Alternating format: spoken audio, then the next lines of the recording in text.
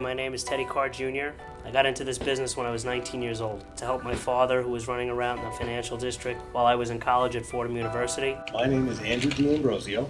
I've been in business since 1991. I started here as a helper in 1986 in my first year at New York Tech. Hi, my name is George Lopez. I'm a distributor for GJL Beverage. I started out 25 years ago as a helper on a truck. Well, my name is Joe Shankin. I'm president of the Shankin Beverage Distributors. I got into the business originally through my father there, so I'm a second generation. My name is Terrence Carr. I'm the president of Rebecca Beverages. I've been in the beverage industry since I'm 16 years old. I'm 60. It's 44 years. My father basically started in 1938. I came in in 1966. I was 21 years old. It was a family business. It was a good business for a long time. It still is a good business. What has happened now is they reinstituted the deposit law. Uh, you know, with all this health stuff going on, sugar's no good for you. Uh, they want to institute a sugar tax. Uh, the company, parent company Pepsi Cola, is cooperating a lot with the governments with making a different, a bigger choice. I really like the job.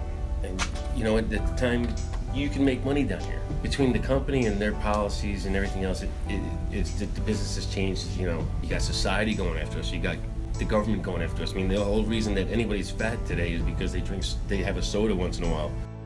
Back in the late 90s, early 2000s, was we were the big guys on the street. We made a lot of money. It was fun. It was an enjoyable job. Right now, it's a struggle. We're competing basically with ourselves. If I fast forward to today's business, big change. A lot of water, tea, vitamin drinks, coffee, energy, very little soda, and sugary drinks, whichever, there's a war on it. It started with Bloomberg and Michelle Obama. If you drink a can a day or a couple of cans a week, you're fine. If you're going to drink three, two liters a day, it's going to be bad for you. But it's like anything. If you smoke three packs of cigarettes a day, it's bad for you. Thought business would be great. It's okay, but it could be a lot better. The reason it's not as good as it should be, in my opinion, is because Pepsi Cola keeps raising prices. There's stores out there that can actually get Pepsi cheaper than we can give it to them, and we're supposed to be Pepsi Cola bottling company. Then we were the Pepsi man, and we delivered to our area all of our stores. There were no beer distributors coming into your area. When you walked in, you had a relationship with every store. We were the only one that delivered to every store. Today, we're going the wrong way.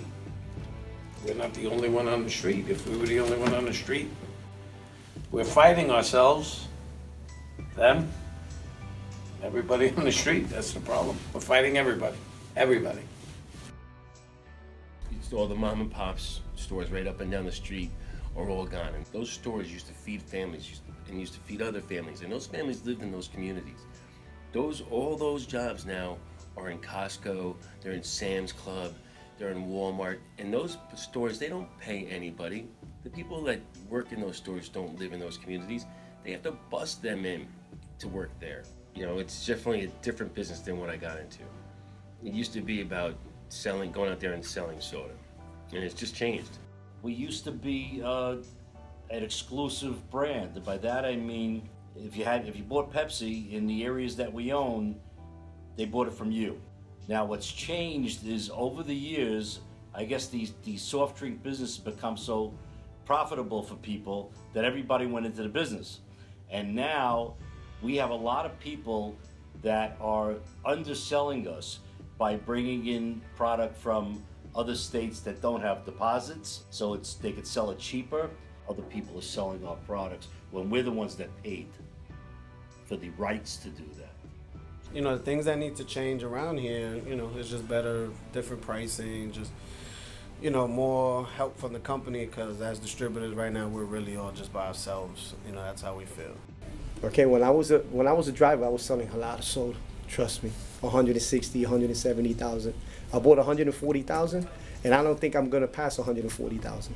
I believe that the beverage industry as a whole has to consolidate. If not, I don't think uh, a lot of people will be around too many years longer. Instead of going up, we're going down. I invested so much money for nothing. All my money is invested in here. I have nowhere to go. Posted a lot of stress because my daughter's going to college and it's just a lot of stress. There's just no money to be, no matter how hard work used to be, you make money. Hard work now is just to stay even. I fell in love with Pepsi, the brand, Pepsi, you know, the name, you know, the color, the logo, just everything about it was just, it was like, wow, this is something I want to be a part of. The company itself, it's a little disheartening dealing with them. We buy from Pepsi, but we're not Pepsi. Though in our hearts, we are the core of Pepsi. We are, if it ain't us, there is no Pepsi the way people know it.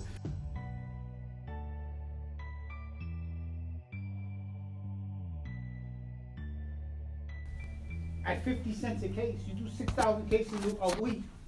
At 50 cent a case, that's $3,000 a week. Mm. Clean money. Cash, clean. Nothing on top. Now you don't see that. Everybody, everybody was happy. Mm. Everybody used to be The distributor was happy, the driver was happy. Now, you, if You you sell, none of that. if you sell 2,000 cases a week, you're doing okay, you know? That's embarrassing, right? And that's, you know, it's, It's bad. it's bad.